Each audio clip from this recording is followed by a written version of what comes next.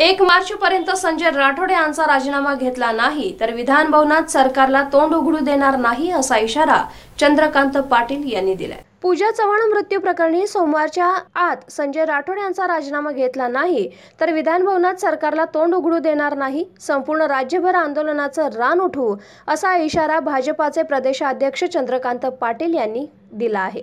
मुख्यमंत्री सत्यवादी आहेत म्हणून तर आम्हाला अपेक्षा आहे. पण उद्धव ठाकरे यांना केवळ आपल्या खुर्चीची काळजी लागली आहे असं म्हणत त्यांनी मुख्यमंत्र्यांवर निशाणा साधलाय. महाविकास आघाडीतील सहा मंत्र्यांच्या विरुद्ध गंभीर स्वरूपाच्या तक्रारी असताना त्यांच्यावर कुठल्याही स्वरूपाची कारवाई होत नाहीये असंही त्यांनी म्हटलं. कोल्हापुरात आयोजित पत्रकार परिषदमध्ये चंद्रकांत पाटील यांनी पूजा चव्हाण मृत्यू प्रकरण चित्रा वाघ यांच्या पतीवरील गुन्हा मराठा आरक्षण यावरून सरकारवर टीका केली आहे. महाराष्ट्रामध्ये गेल्या काही महिन्यांमध्ये मंत्र्यांशी संबंधित अनेक गुन्हे दाखल होत असताना सुद्धा राज्याचे मुख्यमंत्री माननीय उद्धवजी ठाकरे या विषयामध्ये काहीच कारवाई करताना दिसत नाहीत. चोपन्न वर्ष महाराष्ट्राच्या आणि देशाच्या राजकारणामध्ये भरीव काम केलेले आणि तसे अशा प्रकारच्या अन्यायाच्या विरुद्ध कडक भूमिका घेणारे शरद पवार हे सुद्धा या विषयात काहीच बोलायला तयार नाही मी आज आपल्यासमोर आलोय तो यासाठी की सोमवारपासून महाराष्ट्राच्या विधानसभेचं अधिवेशन सुरू होत आहे. पूजा चव्हाणच्या आत्महत्या की हत्या या विषयामध्ये कुठलाही प्रकाश अजून पोलिसांनी सुद्धा आणि सरकारने टाकलेला नाही. या सगळ्या विषयामध्ये अनेक प्रश्न समाजामध्ये उपस्थित होत आहेत.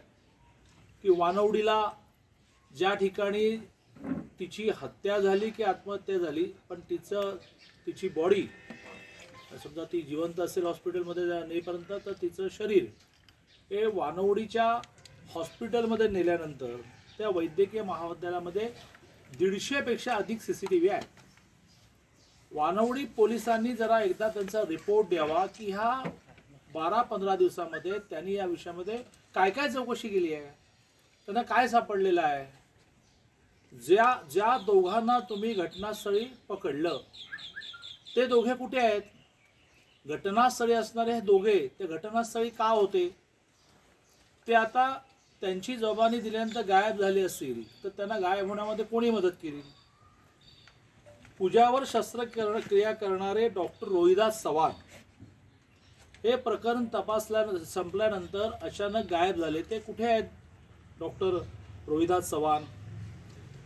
नांदेडच्या हॉस्पिटलमध्ये अशा प्रकाराने तिचा गर्भपात न करता तो यवतमाळमध्ये कसा काय झाला? राहणारी बीड जिल्ह्याची. जवळचं हॉस्पिटल मेडिकल कॉलेज समजा नांदेड आहे. तर असे अनेक प्रश्न आहेत. मला म्हणण्याचं काय आवश्यकता साधा विषय आहे की अशा प्रकारच्या कुठल्याही घटनेमध्ये ज्या वेळेला मग तुम्ही सगळ्या घटनेची चौकशी करून पुराव्यासहित लोकांसमोर या ना. चला उद्या तुम्ही प्रेस कॉन्फरन्स घेऊन सांगा की आम्ही सगळी चौकशी पडद्याआड केली. आम्ही तुम्हाला खूप बंगलो दिलं.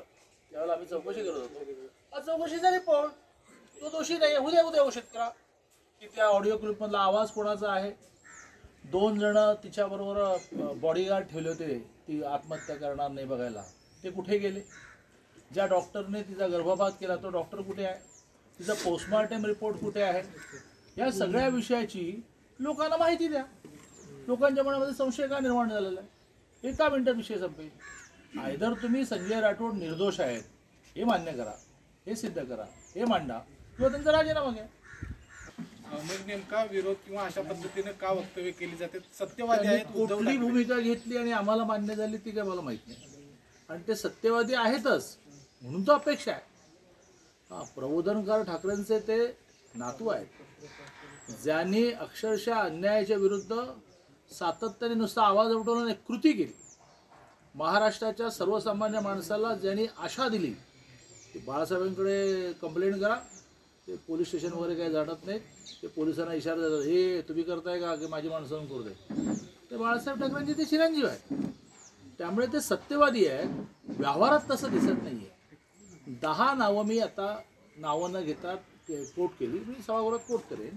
पुराव्यासहित कोट करेन.